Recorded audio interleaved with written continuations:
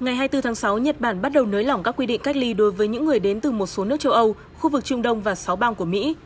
Cụ thể, những người đến từ Cộng hòa Séc, Hungary, Liban và 6 bang của Mỹ gồm Connecticut, Iowa, Michigan, New York, Rhode Island và Tennessee sẽ không phải cách ly ở các cơ sở do chính phủ Nhật Bản chỉ định sau khi nhập cảnh.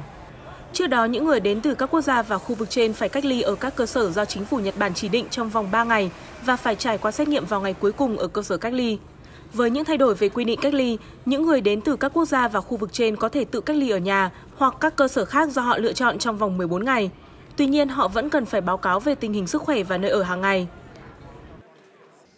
Ở chiều ngược lại, Nhật Bản đưa 9 quốc gia và khu vực vào danh sách các vùng có rủi ro cao do sự lây lan của biến thể Delta. Kể từ ngày 24 tháng 6, các du khách đến từ những quốc gia và khu vực này sẽ được yêu cầu cách ly ở cơ sở do chính phủ chỉ định trong vòng 3 ngày và 11 ngày còn lại ở nhà, đồng thời tiến hành hai lần xét nghiệm sau khi nhập cảnh vào Nhật Bản. Các quốc gia và khu vực này gồm Nam Phi, Estonia, Kyrgyzstan, Peru, Bồ Đào Nha, Thụy Điển, các tiểu vương quốc Ả Rập Thống Nhất, bang Arkansas của Mỹ và bang Paraná của Brazil. Trước đó, quy định buộc phải cách ly ở những cơ sở do chính phủ chỉ định áp dụng cho 29 quốc gia và khu vực, với thời gian cách ly và số lượng xét nghiệm yêu cầu khác nhau.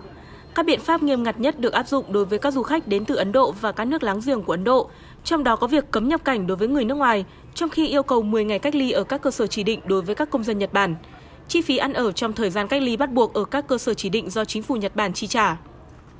Trong khi đó, yêu cầu tiến hành xét nghiệm PCR ngay sau khi đến và tự cách ly trong 14 ngày sau khi nhập cảnh Nhật Bản được áp dụng đối với tất cả những người nhập cảnh vào Nhật Bản, bất kể họ đã tiêm vaccine đầy đủ hay chưa.